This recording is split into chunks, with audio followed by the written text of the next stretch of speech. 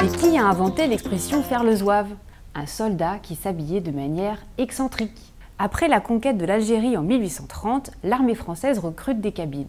La plupart sont originaires d'une tribu montagnarde, les Zouawa. Leur uniforme est un festival de couleurs. Une culotte bouffante rouge garance, une chéchia à gland en feutre rouge, un turban vert et une ceinture bleue ou blanche de 3 mètres de long. Inutile de vous dire qu'on les remarquait de loin.